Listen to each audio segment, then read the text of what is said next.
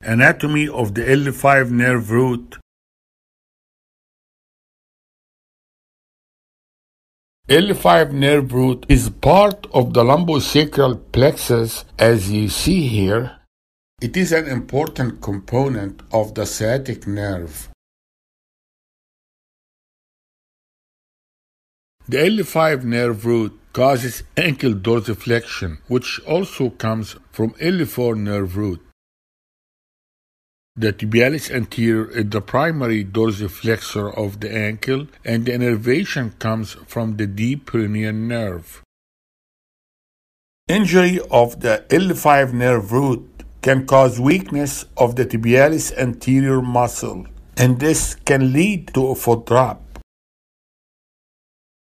The L5 nerve root also causes dorsiflexion of the toes through innervating the extensor hallucis longus, the extensor digitorum longus, and this innervation comes from the deep peroneal nerve. Of particular interest is the extensor hallucis longus. Weakness of the big toe extension is usually present when disc herniation affects the L5 nerve root. So when the L5 nerve root is affected, the extensor hallucis longus could become weak. The tibialis posterior is an important muscle that runs behind the medial malleolus. Its innervation comes from the posterior tibial nerve.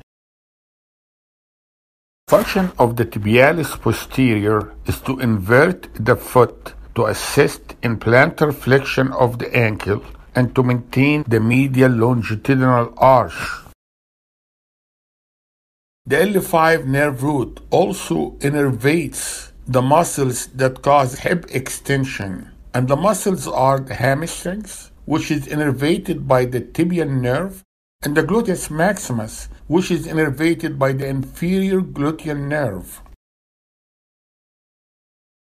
The hamstring muscles are also a major flexor of the knee. The L5 also innervate the hip abductors, the gluteus medius and minimus, and the innervation comes from the superior gluteal nerve. Injury of L5 nerve root can cause weakness of the hip abductors, and this can lead to a Trendelenburg gait.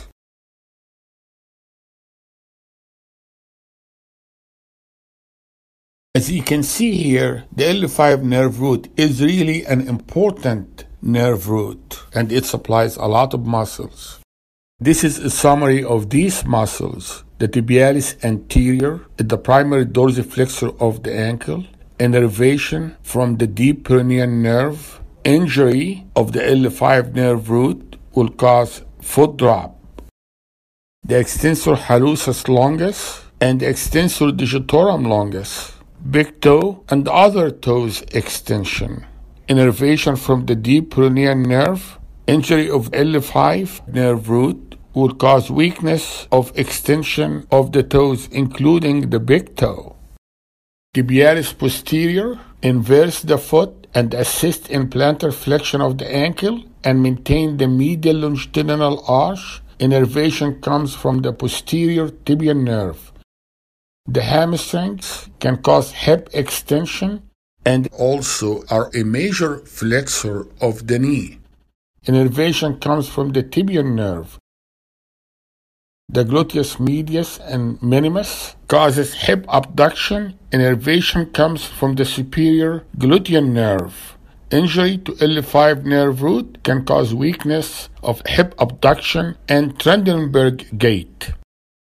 Gluteus maximus causes hip extension. The nerve supply to the gluteus maximus is given by the inferior gluteal nerve L5, S1, and S2, mainly S1 nerve root.